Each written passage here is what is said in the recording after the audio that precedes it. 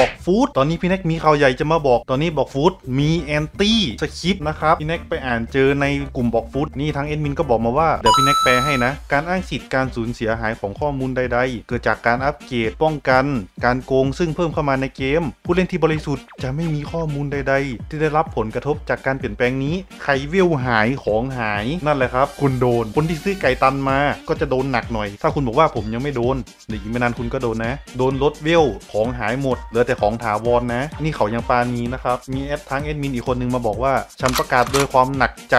ว่าปีนี้จะไม่มีการโทร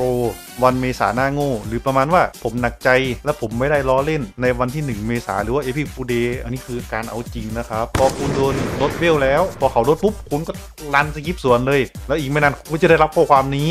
แล้วช่วงนี้ก็โดนกันหลายคนแล้วด้วย ฝากคลิปนี้ไปให้เขาดูด้วยว่า เฮ้ย เพราะอะไรถึงเวลหายของหายหมด ฝากแชร์ไปให้คนที่โดนด้วยนะ